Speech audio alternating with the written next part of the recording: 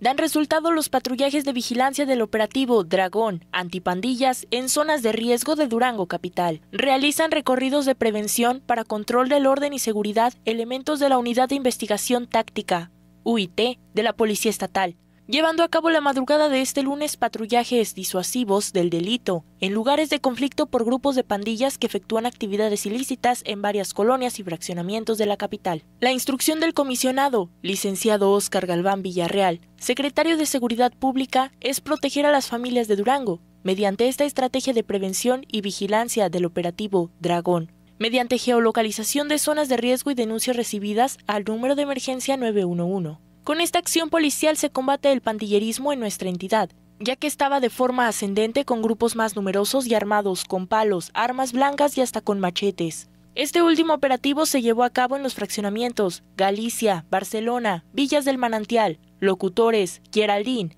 Aranza, Huizache 1 y 2, las colonias Ignacio Zaragoza, Viva Reforma, San Carlos, Las Rosas, Jardines de Cancún, Valle del Guadiana, Morelos Norte, Universal, Morga, Ponderosa, López Portillo, Luz y Esperanza y Villa de Guadalupe. Regresando la confianza a los padres de familia y a la ciudadanía en general, gracias a este operativo Dragón vuelve la tranquilidad a las calles de nuestra ciudad,